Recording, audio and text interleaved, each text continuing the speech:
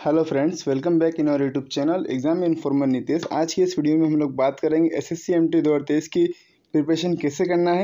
Last दो month बचे हुए हैं आप सभी लोगों के पास और इन दो मंथ में आप लोग कंप्लीट स्ट्रेटजी में आप सभी लोगों को बताऊँगा आप लोग को प्रिपरेशन करना कैसे क्योंकि बहुत सारे बच्चों का कमेंट आ रहा था कि, सर प्रिपरेशन कैसे करें? दो महीने बचा हुआ है सिलेबस कंप्लीट करें या फिर मॉक लगाए? तो इस वीडियो में डिटेल एनालिसिस करेंगे और जिन बच्चों ने अभी तक फॉर्म अप्लाई नहीं किया है एस एस वाले का पोस्ट कम है ये सोचकर, और ये भी सोच रहे हैं कि अगर कट ऑफ़ ज़्यादा जाएगा, इधर पोस्ट को बहुत कम है वैकेंसी बहुत कम आई है तो मैं उन सभी बच्चों को बता दूँ, आप लोग फॉर्म अप्लाई ज़रूर करें, जिससे जो कि आप सभी लोगों का एक्सपीरियंस बढ़ेगा। और जो है कि अगर आप लोग एग्ज़ाम दे के आते हैं और नहीं भी होता है तो जो है कि आप लोग का एक्सपीरियंस बढ़ता है, और आप लोग जो है कि नेक्स्ट प्रिपरेशन में अपने जो नई वैकेंसी आएगी एस सी में, उसमें जो है आप अपने आप में सुधार लाते हैं। चलिए वीडियो को स्टार्ट करते हैं। सबसे पहले मैं आप सभी लोगों को बता दूँ हाँ ये जो पूरा प्लान किया है मैंने ये सिक्सटी डेज़ का है और अगर आप लोग इसको सिक्सटी डेज़ कंटिन्यू डेली पाँच से छः घंटा भी करते हैं इसको लगातार तो जो है कि आप लोग बहुत अच्छा स्कोर कर, कर पाएँगे। ठीक है? सबसे पहले मैं आप सभी लोग इस वीडियो में बताऊँगा प्लानिंग कैसे क्या करना है एग्ज़ाम स्कीम क्या रहेगा सिलेबस क्या रहेगा बुक मार्क्स कितने लाने रहेंगे मॉक टेस्ट वगैरह कब से देना है कितना देना है सिलेक्शन प्रोसेस क्या रहेगा। तो ठीक है? अब हम लोग बात कर लेते हैं कि आप लोग का जो एग्ज़ाम होता है, उसका सिलेक्शन प्रोसेस होता क्या है? तो मैं आप सभी लोगों को बता दूँ, आप लोग का जो एग्ज़ाम होता है कंप्यूटर बेस्ड एग्ज़ाम होता है, फिर उसके बाद जो है कि फ़िज़िकल एफिशेंसी टेस्ट होता है, जो कि हवलदार की पोस्ट के लिए, और फिर उसके बाद आप लोग का डी होता है, ठीक है? मैं आप सभी लोग को बता दूँ, जो कि जो आप लोग का कंप्यूटर बेस्ड टेस्ट होता है, उसमें दो सौ सत्तर नंबर का पूरा पेपर होता है, ठीक है? और टोटल नंबर ऑफ़ क्वेश्चन की अगर बात करते हैं तो नब्बे क्वेश्चन होते हैं, ठीक है? दो सीज़न में होता है आप सभी लोगों का, एक होता है सीज़न वन और दूसरा होता है सीज़न टू ठीक है? जो है कि सीज़न वन जो होता है आप सभी लोगों का, वो क्वालिफाइंग इन नेचर का होता है, ठीक है? और मैं आप सभी लोगों को बता दूँ सीज़न वन में टोटल चालीस नंबर ऑफ़ क्वेश्चन रहते हैं और बीस क्वेश्चन साठ नंबर का रहता है, यानी कि चालीस क्वेश्चन जो रहते हैं, एक सौ बीस नंबर का आप लोग का पूरा पेपर होता है सीज़न वन का, जो कि बिल्कुल क्वालिफाइंग इन नेचर का होता है वो टोटल फोर्टी फाइव मिनट्स का होता है, जिसमें आता है रीजनिंग और मैथ्स ठीक है, इसमें आप लोग को बिल्कुल भी फोकस नहीं करना ज़्यादा। ठीक है, अब हम लोग बात करते हैं सीज़न टू यानी कि जिसपे आप लोगों का मेरिट बनता है, इसमें total fifty number of question रहते हैं। टोटल वन फिफ्टी मार्क्स का ये पूरा पोर्शन होता है और इसी पर मेरिट बनता है। इसमें भी पैंतालीस मिनट ही मिलता है और आप लोगों को अभी से इसी पर फोकस करना है। ठीक है अब हम लोग आगे बात कर लेते हैं कि आप लोग को जो है कि जो आप लोग का जो सीज़न वन था, जिसका फ़र्स्ट टॉपिक आता है न्यूमेरिकल एप्टीट्यूड कि जो इंपॉर्टेंट टॉपिक है, यानी कि किस टॉपिक को आप लोगों को करना है एप्टीट्यूड वाले सेक्शन में और किस टॉपिक से क्वेश्चन आते हैं। तो मैं आप सभी लोग बता दूँ, ये जो सीज़न वन होता है क्वालिफाइंग नेचर होता है, यानी कि दस दस से बारह क्वेश्चन आप सभी लोगों को सही करना रहता है तो आप लोग जो है कि अगर रीजनिंग में ही दस से बारह क्वेश्चन सही करोगे तो ये पोर्सन ऐसे ही खत्म हो जाएगा। और रीजनिंग और मैथ्स के बहुत ईजी क्वेश्चन आते हैं। ठीक है तो आप लोग देख सकते हैं बेसिक जो टॉपिक्स हैं, जैसे कि नंबर सिस्टम से एक दो क्वेश्चन आता है एवरेज से दो दो से तीन क्वेश्चन आता है, ठीक है। प्रॉफिट एंड लॉस आप लोग को कर लेना प्रॉफिट एंड लॉस से जो है कि दो से तीन क्वेश्चन आता है, ठीक है। प्रॉफिट एंड लॉस से जो है कि दो से तीन क्वेश्चन आता है, आप लोग को प्रॉफिट एंड लॉस ध्यान में रखना है। और फिर मैं आप लोगों को बता दूँ डेसिमल एंड फ्रैक्शन से एक दो क्वेश्चन एक से दो क्वेश्चन आता है और फिर उसके बाद फंडामेंटल एथमेटिक ऑपरेशन से भी क्वेश्चन आता है और रेशियो प्रोपोर्शन से दो से तीन क्वेश्चन रहता है। ठीक है, अब देख लेते हैं हम लोग वेटेज प्रॉफिट लॉस से मैं आप सभी लोगों को बता दूँ, चार से छः क्वेश्चन रहता है वेटेज का, जिसमें जो है कि प्रॉफिट लॉस डिसऑनेस्ट पर्सन पर आता है सक्सेसिव पर क्वेश्चन आते हैं इसके अंदर, ठीक है मार्क प्राइस सेलिंग प्राइस पर क्वेश्चन आता है पार्टनरशिप पर क्वेश्चन आता है इससे, ठीक है। अब बात कर लेते हैं डी आई से डी आई के दो क्वेश्चन रहते हैं, इस बार के अधिकतर एग्ज़ाम में एक से दो क्वेश्चन रहे हैं, और स्पीड टाइम एंड डिस्टेंस ये जो तीन टॉपिक है, ये अगर आप अच्छे से कर लेते तो चार से पाँच क्वेश्चन बना लेंगे, और इतने ही क्वेश्चन सही करना क्योंकि ये जो पोर्सन है क्वालिफाइंग इन नेचर का रहता है। अब बात कर लेते हैं रीजनिंग की। तो रीजनिंग की मैं आप सभी लोगों को बता दूँ, बहुत इजी पेपर आता है।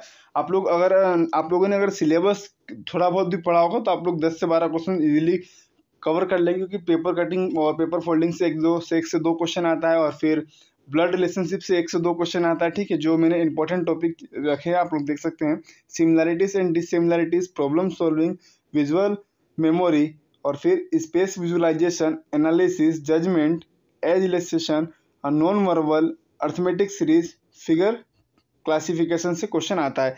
अगर आप सभी लोगों को रीजनिंग के में अगर अच्छा स्कोर करना है तो आप लोग जो ये ग्राफ है, इसको भी देख सकते हैं। डायरेक्शन बेस्ड क्वेश्चन आते हैं ब्लड रिलेशनशिप से क्वेश्चन आता है, ठीक है। और फिर कोडिंग से दो से तीन क्वेश्चन आता है सीरीज़ से एक से दो क्वेश्चन आता है, ठीक है। अगर ये चार टॉपिक भी अगर आप लोग कवर कर लेते हैं अगर आप लोग ये चार टॉपिक भी अगर कवर कर लेते हैं तो आप लोग का रीजनिंग में अच्छा स्कोर हो जाएगा। और ज़्यादा स्कोर करना भी नहीं है, क्योंकि ये क्वालिफाइंग नेचर का है। तो मैं आप सभी लोगों को बता दूँ, जो है कि 10 से 12 क्वेश्चन अगर आप बना लेते हैं तो जो है कि आप लोग क्वालिफाई कर जाएँगे, ठीक है? अब बात कर लेते हैं कि आप लोग को जो फोकस करना, जो मेन टॉपिक है, जिस पे ध्यान देना है हमें, वो ये है। तो मैं आप सभी लोगों को बता दूँ, जो इंग्लिश रहता है, अगर आप लोग इंग्लिश के सबसे ज़्यादा आप लोग को फोकस करना है वो है ग्रामर ग्रामर में जो है कि आप लोगों को वर्ब और टेंस पर ज़्यादा फोकस करना है, उसके बाद वोकेबलरी सेक्शन वोकेबलरी सेक्शन से आठ से नौ क्वेश्चन आप लोग के पकड़ा जाएँगे. सिनोनिम एंटोनिम के चार से पाँच क्वेश्चन रहते हैं. सेंटेंस प्रैक्टिस और फिर उसके बाद पैराग्राफ ठीक है, अब बात कर लेते हैं कि वेटेज क्या रहता है. क्वेश्चन कहाँ से आता है? तो मैं आप सभी लोगों को बता दूँ क्लोज टेस्ट सेंटेंस जंबल और स्पेलिंग से टोटल छः क्वेश्चन रहते हैं। ये मैंने प्रीवियस जो अभी एग्ज़ाम हुआ है, आप लोग का लेटेस्ट दो बाईस वाला, उसका मैंने सारे एग्ज़ाम के पेपर जितने भी थे, उसको मैंने एनालिसिस किया और उसके बाद मैंने ये ग्राफ बनाया है। और साइनो एंटो से छः से सात क्वेश्चन रहता है, ठीक है?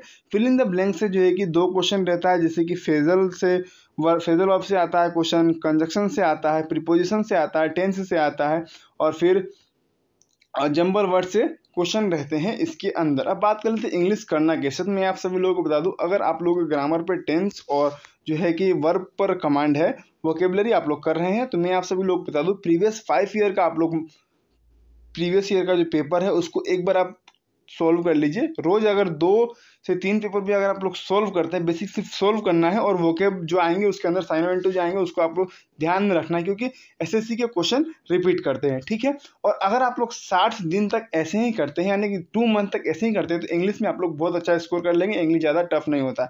मेन जो है जिसमें प्रॉब्लम होता है, वो रहता है जीएस ठीक है? आप लोग देख सकते हैं, मैंने इंग्लिश का ग्राफ भी बना के बताया, आप लोग को उसमें आप लोग कर लेना है comprehension verbal ability grammar one word substitution idiom and phrases ये टॉपिक अगर आप लोग कर लेते हैं तो आप लोग का इंग्लिश में दिक्कत नहीं होगा, ठीक है? अब हम लोग बात कर लेते हैं जीके जीएस जीके जीएस में सही बच्चे क्या बोल रहे हैं कि अब हम लोग अब से सिलेबस पढ़ना स्टार्ट करेंगे। तो दो महीने में आप लोग का सिलेबस होने जा नहीं रहा, ठीक है? और जितना आप लोग सिलेबस पढ़िएगा, उससे सिर्फ़ पाँच से छः छः क्वेश्चन आएगा। मेन जो फंडा रहता है मेन जो कंसेप्ट रहता है, वो रहता है किसका? मैं आप सभी लोगों को बता देता हूँ, वो रहता है स्टेटिक का, ठीक है? वो रहता है स्टेटिक और फिर करंट का।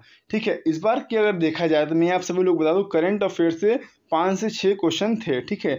और फिर ज्योग्राफी की अगर बात की जाए तो तीन से चार क्वेश्चन थे इकोनॉमिक एंड फाइनेंसिंग से जो है कि दो क्वेश्चन थे। साइंस एंड टेक्स से अगर बात करते हैं, इसका वेटेज तो पाँच से छः क्वेश्चन आते हैं। इंडियन पॉलिटिक्स से दो से तीन क्वेश्चन आता है। कॉन्स्टिट्यूशन से और फिर स्टेटिक जीके से पाँच से छः क्वेश्चन आता है हिस्ट्री के तीन से चार क्वेश्चन आते हैं टोटल पच्चीस क्वेश्चन आते हैं आप सभी लोग। अब बात कर लेते हैं कि इसको ठीक करना कैसे और दो महीने में इसको कवर कैसे करना है पूरे चीज़ को। तो मैं आप सभी लोग बता दूँ, आप लोग को ज़्यादा फोकस इन पूरे चीज़ पर नहीं करना। आप लोग को ज़्यादा फोकस करना है किस चीज़ पर स्टेटिक पे। आप लोग को स्टेटिक जीके पर फोकस करना स्टेटिक जीके पर आप लोग को फोकस करना कैसे? तो मैं आप सभी लोग बता दूँ प्रीवियस दो साल का या फिर आप लोग सीजीएल का देख लीजिए, या फिर सी का देख लीजिए। सीजीएल और सी का अगर आप लोग प्रीवियस ईयर का जी के का सेक्शनल पेपर सोल्व करते हैं, आप लोग basically textbook app use कर सकते हैं। अगर उससे आप लोग क्वेश्चन सोल्व करते हैं तो मैं आप लोग को गारंटी देता हूँ, अगर सिक्सटी डेज़ में अगर आप लोग वन ट्वेंटी पेपर भी अगर सोल्व करते हैं तो जो है कि इतना आप लोग एलिजिबल हो जाइएगा, यानी इतना कॉन्फिडेंस आ जाएगा आप लोग का, इतना आप लोग को याद हो जाएगा कि आप लोग पेपर में ज़रूर दस से बारह क्वेश्चन आप लोग सही कर लीजिएगा, सिर्फ़ सोल्व कर लेने से पेपर क्योंकि जीके जीएस जो है कि और इंग्लिश इसके क्वेश्चन रिपीट करते हैं, किस पोर्शन से आ रहा है आप लोगों का क्वेश्चन उसको आप लोग को माइंड में रखना क्योंकि वो क्वेश्चन उससे रिपीट करता है। ठीक है? और फिर मैं आप बता दूँ करंट करंट आप लोग को बेसिकली पढ़ते रहना करंट अफेयर जिससे दो से चार क्वेश्चन आप लोग को उसे टकरा जाएँगे। और बेसिकली आप लोग को सिलेबस का नॉलेज होना चाहिए। तो जो मैंने टॉपिक बताया, उसको आप लोग कवर कर ले, ठीक है? ऐसे मैंने इसको डिस्ट्रीब्यूट किया, अगर देखना चाहेंगे तो उसमें आ जाता है आप लोग का history geography civics economics biology physics chemistry और आप लोग बुक की बात करते हैं तो मैं आप सभी लोग बता दूँ कि एक लूसेंट बुक आता है इसको आप लोग बेसिकली गो थ्रू हो सकते हैं, या फिर किरण पब्लिकेशन का प्रीवियस ईयर क्वेश्चन बैंक आता है, इसमें पूरे ईयर का क्वेश्चन बैंक रहता है, वो ले सकते हैं, या फिर पिनाकल का क्वेश्चन आता है क्वेश्चन बैंक आता है, आप लोग उसको ले सकते हैं। या फिर ब्लैक बुक का जनरल अवेयरनेस का बुक आता है, जिससे जो है कि एस एटिक जीके के अच्छे से अच्छे क्वेश्चन रहते हैं। आप लोग उस बुक को ही प्रीफर कर सकते हैं, ठीक है? मैंने इस वीडियो में आप सभी लोगों को डिटेल में एनालिसिस करवा दिया है और मैंने आप सभी लोगों को बताया कि आप लोगों को प्रिपरेशन करना कैसे। और अगर आप लोग ये दो महीने तक लगातार इसको कंटिन्यूटी के साथ रखते हैं, चार से पाँच घंटा आप डेली देते हैं तो मैं आप सभी लोग बता दूँ, आप लोग बहुत अच्छा स्कोर कर पाएँगे आपके अपने S S C M T S के एग्ज़ाम में। और ज़्यादा दिन नहीं बचा आप सभी लोगों का। सितंबर में आप सभी लोगों का एग्ज़ाम है। और मैं आप सभी लोग बता दूँ डेली एक मॉक टेस्ट सुबह दें और उसको एनालिसिस करें और उसके बाद एक मॉक टेस्ट शाम में दें जिसको एनालिसिस करें। मॉक टेस्ट देना बड़ी बात नहीं है, उसको एनालिसिस करना और एनालिसिस करने के बाद जिस टॉपिक से आ रहा है, जो टॉपिक नहीं बना है, उसको पढ़ना बहुत बड़ी बात होती। है अगर आप लोग इतना दो महीने तक करते हैं तो श्योरली मैं कहता हूँ, आप लोगों का सिलेक्शन पक्का है। आप लोग वैकेंसी ना देखें। जितनी भी वैकेंसी आप लोग ये सोचें कि आपका एक पोस्ट उसमें आपका है। फ्रेंड्स ऐसे ही इन्फॉर्मेटिव वीडियो के लिए हमारे चैनल को सब्सक्राइब कर लीजिए। मिलते हैं नेक्स्ट अपडेट के साथ। जय हिंद।